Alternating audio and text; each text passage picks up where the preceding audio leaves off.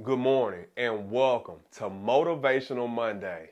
We thank God for another day, and I thank you all for tuning in.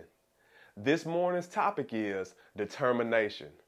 For everyone who has decided to pursue their dreams, goals, and aspirations, I want you to know that you're going to have to develop a determined mindset, not letting anyone or anything deter you from reaching your destination eliminating all distractions, even if that means cutting off certain family members and friends. A sacrifice that some may not be willing to make, but this could well hinder you from reaching your dreams. You have to have tunnel vision. Well, this is all that you talk about, it's all that you think about, and you give it 100%, nothing less. And guess what? You will win.